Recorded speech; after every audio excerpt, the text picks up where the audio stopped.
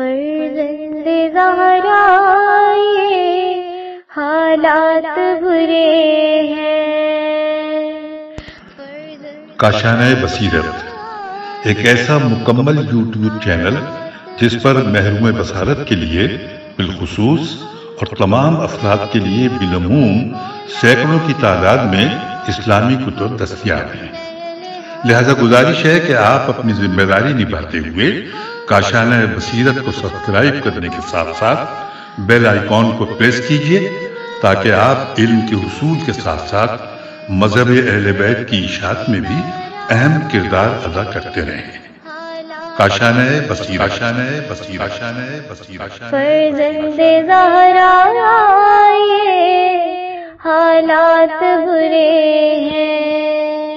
बिसमीम अल्लाम ये रिसाला आपके लिए काशान बसीरत की यूट्यूब चैनल की जानब से रिकॉर्ड किया जा रहा है।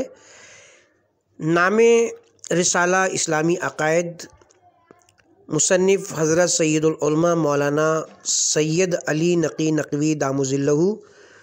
अब हम रिसाले का पार्ट नंबर तीन पढ़ेंगे। मोहब्बत अहल बैत नंबर सत्तावन। अहल बैत रसूल अलैहि वसल्लम की मोहब्बत निजात आखरत के लिए ज़रूरी है और बग़ैर इसके इंसान ईमान के दर्जे तक नहीं पहुँच सकता। अहल बैत से मुराद वही लोग हैं जिन्हें रसूलुल्लाह ने ख़ुद बतला दिया है कि आयत आयत तथीर इनकी शान में नाजिल हुई है, यानी अली और फ़ातिमा और हसन और हुसैन। आम सादात अपनी रिश्तेदारी के लिहाज से काबिल इज़्ज़त हैं। लेकिन अगर उनसे कुछ बुरे अफ़ाल सरजद हों और वो खुदा और रसूल की इतात ना करें तो उनसे दिल को अलहदा करना ज़रूरी होगा। सहाब रसूल सल्लल्लाहु अलैहि वसल्लम, नंबर अट्ठावन, फिफ्टी एट, हमारे नज़दीक रसूल की मुसाहबत काबिल इज़्ज़त है। इस शर्त से कि रसूल पर ईमान और अहकाम मज़हब की इतात के साथ हो। नंबर उनसठ, फिफ्टी नाइन सहाबी होने का लाजमी नतीजा ये नहीं है कि वो शख्स अहकाम शरा का पाबंद भी हो। नंबर साठ, बहुत से सहाबा रसूल के बाद राह रात से हट गए थे, इसलिए असहाब के हालात को जांचना ज़रूरी है ताकि इंसान गुमराही में मुबतला ना हो। अजवाज रसूल सल्लल्लाहु अलैहि वसल्लम। नंबर इकसठ, रसूल की बीवियाँ बहसीत इस रिश्ते के काबिल एहतराम ज़रूर है, लेकिन इतात खुदा और रसूल उनके लिए ज़रूरी है और वह अहकाम खुदा से मुस्तना नहीं है। नंबर बासठ, अजवाज रसूल में जो कोई अहकाम खुदा की पैरवी ना करे, उसका इजहार इसलिए ज़रूरी है कि दूसरे लोग धोखा ना खाएँ। लेकिन मगर कोई लफ्ज़ उन अजवाज की शान में ऐसा ऐसी कहना दुरुस्त नहीं जो रसूल की इज़्ज़त पर हर्फ लाए। नंबर तिरसठ आयशा रसूल अल्लाह की बीवी थी, उनकी नस्बत मुनाफिक लोगों ने जो इल्ज़ाम तराशा था वह बिल्कुल गलत है। अजवाज रसूल का जहन ऐसे अफ़ेल से आलूदा नहीं हो सकता।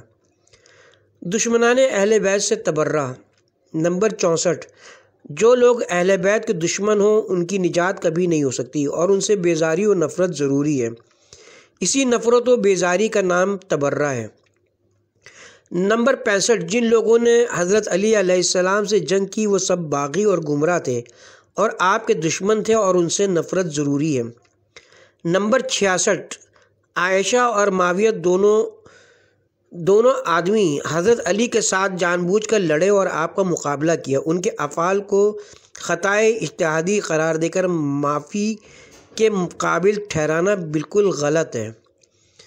जजा और सज़ा नंबर सिक्सटी सेवन सड़सठ। खुदा की तरफ़ से बंदों को उनके अच्छे और बुरे अफ़ाल का बदला मिलना ज़रूरी है। जो अच्छे काम करें, उन्हें जजा, और जो बुरे काम करें, उन्हें सज़ा होगी। इसलिए कि खुदा आदिल है और उसके इंसाफ का तकाजा यही है। क़यामत नंबर सिक्सटी एट अड़सठ। एक दिन ऐसा मुकर है जिस दिन सब मरने वाले दोबारा ज़िंदा होंगे, ताकि उन्हें जजा और सज़ा अता की जाए। उस दिन का नाम क़यामत है। रिजत, नंबर सिक्सटी नाइन, उनहत्तर। आम अशास की क़यामत से पहले एक ऐसा वक्त है जो जब मखसूस जब मखसूस कामिल ईमान अफराद और सख्त दर्जे के काफ़ी लोग दुनिया में दोबारा लाए जाएँगे और इन मोमिन को सल्तनत व इकतदार और उन कुफार को ज़िल्लत व मुसीबत हासिल होगी। इसको रिजत कहते हैं। मीज़ान नंबर सेवनटीन मीज़ान नंबर सेवेंटी क़यामत के दिन तमाम लोगों के अमाल की जाँच पड़ताल होगी। इसी का नाम मीज़ान है। बहिश तो दोजख, नंबर इकहत्तर, रोज़ क़यामत जिन लोगों के अमाल अच्छे होंगे, उन्हें जन्नत में भेजा जाएगा और जिनके अमाल बुरे होंगे, उन्हें दोजख में। नंबर बहत्तर बहिश्त इंतहाई राहत की जगह और दोजख इंतहाई तकलीफ़ का मकाम है। वहाँ बाग बहार है और यहाँ आग और उसके शोले। मगर वहाँ के बाग और उसकी नेमतों और आग और उसके शोलों को बिल्कुल दुनिया के बाग और आग की मिसल नहीं समझना चाहिए। वह आलम और ही है और वहाँ की चीज़ें और। हमारे समझाने का इससे बढ़कर कोई ज़रिया नहीं था कि हमको यहाँ की चीज़ों का पता दिया जाए जिन्हें हम रोज़मर्रा देखते हैं। शिफात नंबर तिहत्तर, बहुत से ऐसे मोमिन जिनके अमाल बहुत अच्छे नहीं हैं और उन्होंने गुनाह किए हैं। अगर किसी हद तक उनके अमाल में गुंजाइश है और कोई इस्तेकाक उनको हासिल है तो रसूल अल्लाह की सिफारिश से उनको बख्श दिया जाएगा। इसे शिफात कहते हैं। नंबर चौहत्तर शिफात का दर्जा रसूल अल्लाह के अलावा दूसरे आइमा और ख़ास दर्जे के मोमिन को भी अपने अपने मरतबे के लिहाज से हासिल है। इस्लाम, नंबर पिछहत्तर जो शख्स खुदा को एक मानता हो और हज़रत मोहम्मद मुस्तफ़ा सल्लल्लाहु अलैहि वसल्लम की रिसालत को तस्लीम करता हो और रोज़ क़यामत का इकरार करता हो, कुरान को सच्ची किताब कहता हो और इस्लाम के उन बड़े बड़े अहकाम का इकरार करता हो जो बिल्कुल मुसलमा हैसियत रखते हैं, जिनका तस्करा ज़रूरियात दीन के नाम से उसके बाद आएगा और अहल बैत रसूल के साथ एलानिया इजहार इजहार अदावत ना करता हो, वो मुसलमान है। नंबर छिहत्तर, जो लोग मुसलमान हों, उनके जान व माल और आबरू पर किसी तरह हमला जायज़ नहीं है और उनके साथ मेल जोल और इस्लामी ताल्लुक़ का कायम करना बेहतर है। नंबर सतहत्तर, जो लोग ईमान, नंबर सतहत्तर, जो लोग इसके साथ विलायत अहलबैत का इकरार करते हों और दिल व जान से रसूल के अहकाम को कबूल करते हों, वो मोमिन और अच्छे अमाल के साथ निजात के मुस्तक हैं। कुफ्र नंबर अठहत्तर सेवेंटी एट खुदा और रसूल रोज़ क़यामत और ज़ूरियात दीन में किसी का मुनकर और अहलबैत से ज़ाहिर बज़ाहिर अदावत का ऐलान करने वाला शख्स काफिर है। नंबर उन्नासी सेवेंटी नाइन कुफ़ार ख्वा किसी तरह के हो नजी से उनके हाथ का खाना पीना जायज़ नहीं हो और तरी की हालत में किसी तरह हाथ या कोई चीज़ उनके जिस्म से मुतासर हो जाए तो उसे पाक करना ज़रूरी है। ज़रूरियात दीन, नंबर अस्सी, वो शर्य अहकाम जो तमाम मुसलमानों में इस तरह तस्लीम शुदा है कि हर बच्चा बच्चा उन्हें जानता है। इन्हें ज़रूरियात दीन कहते हैं, जैसे नमाज़, रोज़ा, हज, ज़क़़त का वाजिब होना, शराब, जना और सूद खोरी वगैरह का हराम होना, यही वो अहकाम है जिनका इनकार करने वाला या उनका मज़ाक उड़ाने वाला काफिर है। नमाज़, नंबर इक्यासी, हर शख्स पर हर शख्स पर दिन में पाँच वक्त की नमाज़ वाजिब है। सुबह को आफ्ताब निकलने के पहली दो रकत, दो दोपहर ढलने के बाद जहर की चार रकत और उसके बाद असर की चार रकत, फिर मगरिब की तीन रकत, आफ्ताब गुरूब आफ्ताब गुरूब होने के बाद और इशा की चार रकत आधी रात से पहले तक। रोज़ा नंबर बयासी, माह रमज़ान के रोज़े जब से चाँद माह सयाम कहो उस वक्त से शवाल तक के जब से चाँद माह सयाम कहो उस वक्त से शवाल के चाँद तक बराबर दिन को रोज़ा रखना वाजिब है। हज नंबर तेरासी, उम्र भर में एक मरतबा इस्तात यानी आमद रफ्त के सफ़र, खर्च और अमनियत, अमनत, अमनियत राह वगैरह की सूरत में खान काबा का हज वाजिब है।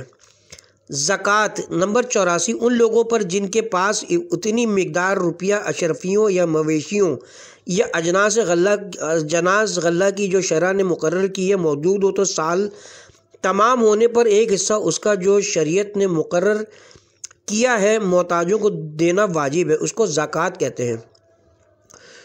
खुम्स नंबर पिचासी बिला मेहनत और मुशक्क़त या बिला कीमत जो माल हासिल हो, जैसे ख़जाना वगैरह, उसमें पाँचवा हिस्सा बतौर खुम्स का निकालना ज़रूरी है। जिहाद, नंबर छियासी, जब पैगंबर या इमाम मौजूद हों और वो जंग की ज़रूरत, जंग की ज़रूरत समझें या जब मुसलमानों पर दुश्मन हमला कर दें तो मुदाफ़ियत के लिए जो शख्स भी कुदरत रखता हो, उस पर मुकाबला करना वाजिब है।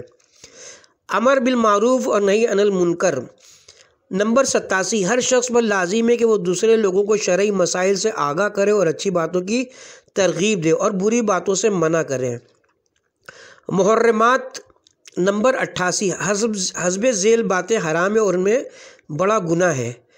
शराब पीना, जनाकारी, किसी की नाहक जान लेना, झूठ बोलना, दूसरों की बुराइयाँ करना, सूद खाना, अमानत में ख़यानत करना, वगैरह वगैरह।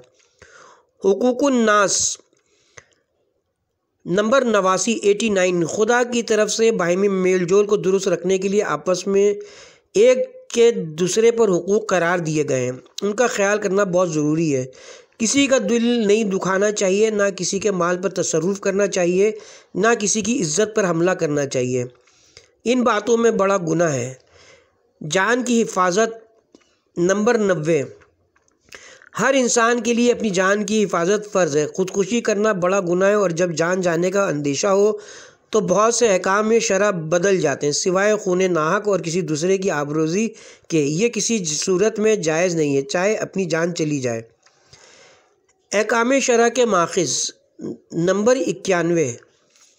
अहकाम शरा हासिल करने के चार ज़रिए हैं। कुरान, हदीस, इजमा, अक़ल।